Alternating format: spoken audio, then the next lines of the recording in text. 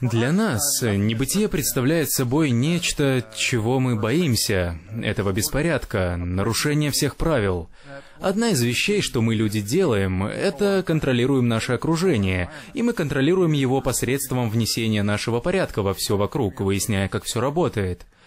И ноль представляет собой, в неком смысле, ничто, небытие. Это возвращение к отсутствию законов, к первичному супу, без правил. К примеру, если взглянуть в Библию, в еврейскую Библию, на миф творения. Это Ветхий Завет для христиан, окей? Чтобы вы поняли. Продолжайте. Творение произошло из ничего. Если прочесть об этом в Ветхом Завете, там сказано «Мир, земля была бесформенной, хаотичной и пустой». Отнюдь не совпадение, что хаос и пустота объединены здесь, поскольку пустота представляет собой отсутствие законов, нарушение всех правил, и как может что-то, являющееся ничем, иметь какие-либо закономерности, определяющие, что это, как оно работает, как ведет себя? И нарушение этих правил сделало его пугающим. Но первичный хаос не был ничем. Он был беспорядочным чем-то. Я имею в виду у древних евреев.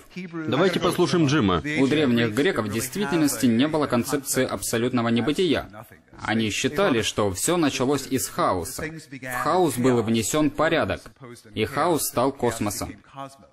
Но только с христианством, мне кажется, идея творения экс нигило вошла в состав этой формулы. Творение из ничего. Да, поскольку Окей, идея просто была, перевожу. что Бог был столь могущественен, был всемогущ, ему не требовалось какого-либо предшествующего материала, чтобы создать этот мир. Вообще об этом впервые говорится не у греков, а в Ригведе.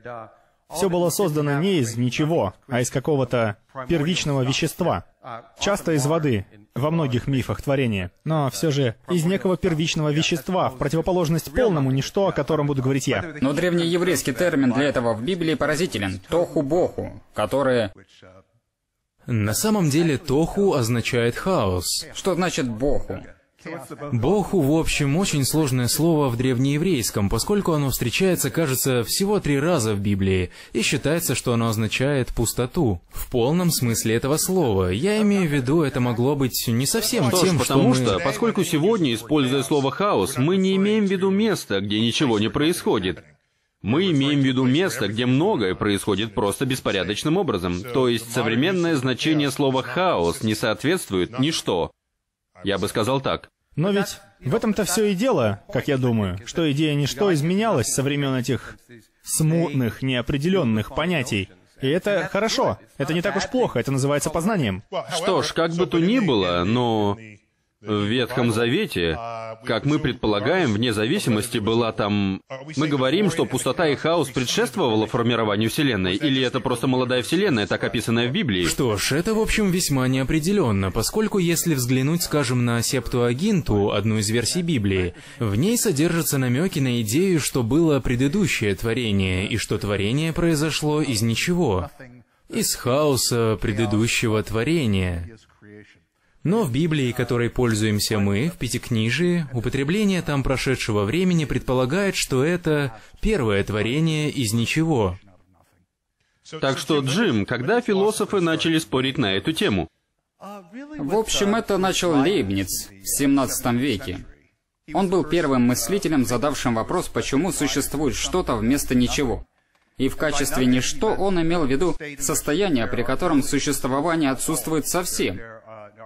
Нет никаких существ, нет хаоса, нет пространства, нет времени, абсолютное небытие. Это очень сложно себе вообразить. Если попытаться стереть все содержимое своего сознания или попытаться представить, как все составляющие Вселенной медленно исчезают, гаснут звезды, исчезают атомы, исчезает жизнь, исчезает время и пространство. Что интересно, сын Сэмюэла Тейлора Колериджа, Хартли Колеридж, еще ребенком столкнулся с такой же интеллектуальной проблемой. И он сказал, что представил себе, как это все исчезает. Вся трава и все звезды и люди, не осталось ничего, кроме тьмы и холода, и ничего, чему быть темным и холодным. То есть это лучшее, что ты можешь сделать. И даже когда ты пытаешься достичь состояния небытия в своем воображении, там остается тонкий просвет твоего сознания, заглядывающего под эту дверь.